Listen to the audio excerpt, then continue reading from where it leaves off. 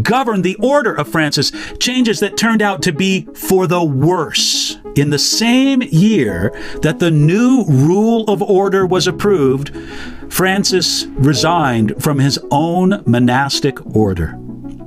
He died in the year 1226 when he was just 44 years old.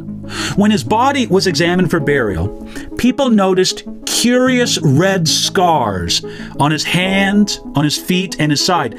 Now, these are traditionally referred to as the stigmata.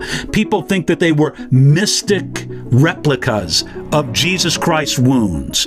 Now, those marks were never confirmed during the lifetime of Francis. But according to traditions, they were said to be there when he died. But there was nothing to indicate that they were miraculous in origins.